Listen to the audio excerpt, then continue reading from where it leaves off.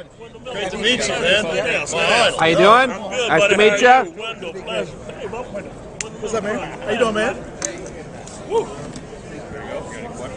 Well, I, I just emailed everyone just to kind of Situation.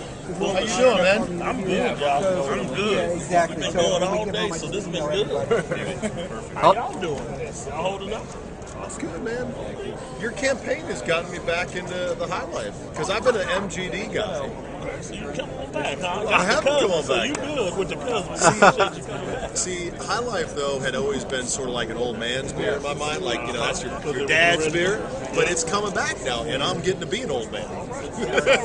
We had a sign in our basement of this this, this like thing that Miller's sign that would. Yeah. With the girl on the moon? No, it was another. It was like a, a light thing that would go back Oh, and really? forth. Yeah.